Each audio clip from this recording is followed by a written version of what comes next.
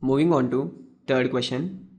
Given that ABCD is a rectangle and PQR and S are midpoints of sides AB, BC, CD and DA respectively, show that quadrilateral PQRS is a rhombus.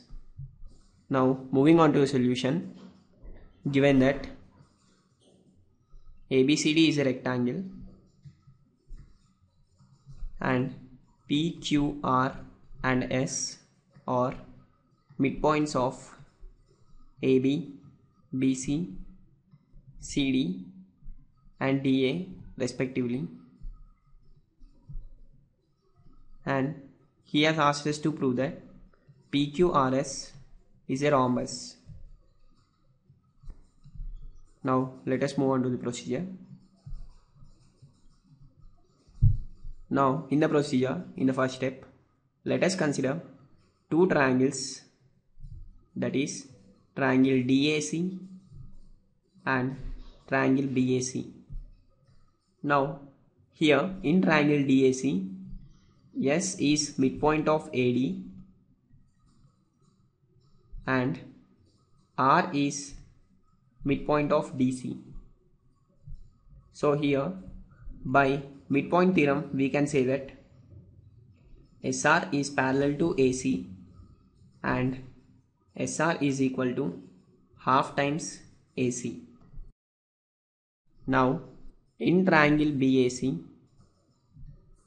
P is midpoint of AB and Q is midpoint of BC.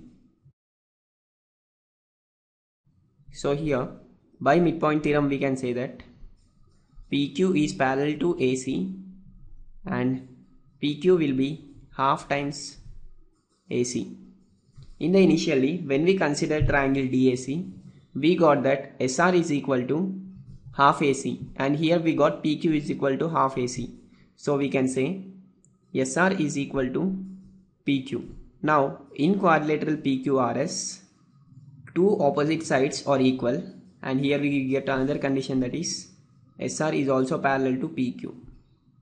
Here now in the quadrilateral PQRS we got the condition that opposite sides are parallel and are equal. So we can say PQRS is now a parallelogram.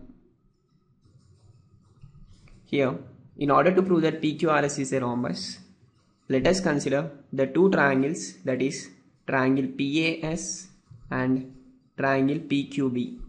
In these two triangles, angle SAP is equal to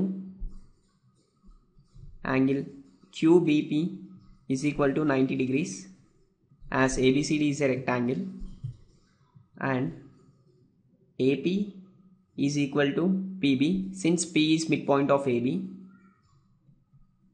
Now as ABCD is a rectangle, AD is equal to BC and as S is midpoint of AD and Q is midpoint of BC, we can say here AS is equal to BQ. Now here in triangle PAS and triangle PBQ, according to SAS property, the two triangles are congruent that is triangle PAS is congruent to triangle PQB. When two triangles are congruent, we can say that the corresponding sides and corresponding angles will be equal.